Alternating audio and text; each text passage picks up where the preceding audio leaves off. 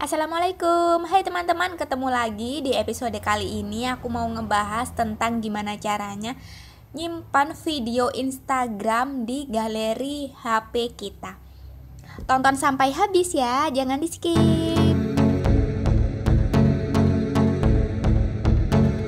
Oke kita langsung aja. Seperti opening di awal tadi bahwa kali ini aku akan ngejelasin gimana caranya nyimpen atau ngedownload video Instagram ke galeri HP kita.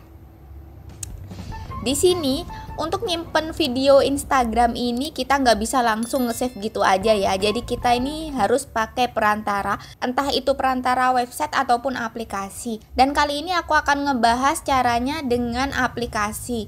Jadi yang pertama kalian harus mengunduh aplikasinya dulu. Ini adalah aplikasi tambahan pendownload video di Instagram kalian download dulu ya FaceSave ini aku pakai ini. Kalau kalian belum punya kalian download dulu di Play Store.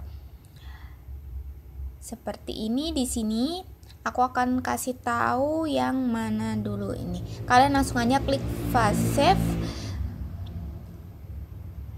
Nah kalian pakai yang ini karena ini enak banget gampang mudah dipakainya. Tapi buat kalian yang memori HP-nya udah penuh dan nggak bisa ngedownload aplikasi tambahan lagi, kalian bisa mengunduh video Instagram tersebut lewat browser.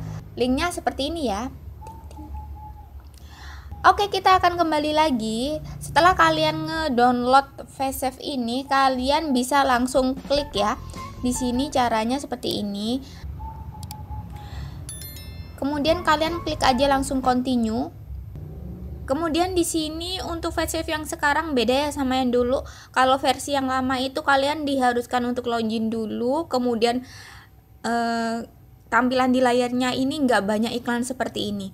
Untuk versi yang terbaru ini yang udah update kalian nggak perlu login, tapi di layar ini ada iklannya ya sedikit mengganggu sih untuk visual. Kalau untuk aku pribadi. Kemudian kalian bisa langsung tempelkan tautan atau link video yang akan kalian download di sini ya di text box ini.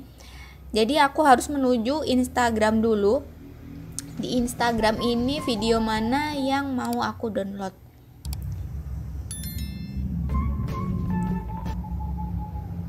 Nih ya, semisal aku mau ngedownload video ini, kalian klik aja titik tiga ini, kemudian kalian tautan ini ya, kalian copy tautannya,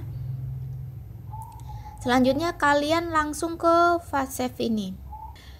Jadi kalau kalian udah ngebuka aplikasi FastSave itu kemudian kalian langsung ke Instagram, kalian copy link itu bakal langsung ngedownload otomatis di FastSave ya seperti ini.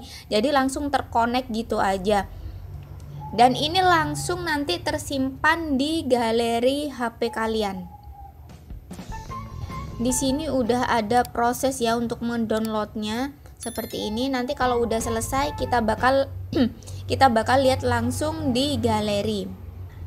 Nah di sini ada notifikasi ya berhasil mengunduh. Itu tandanya udah kesimpan di dalam galeri di dalam galeri. Sekarang kita langsung ke galeri. Kita lihat dulu apa benar udah ada di galeri. Oke kita ke galeri dan Nah, ini dia video yang tadi aku save di Instagram melalui aplikasi tambahan FaceSave seperti itu.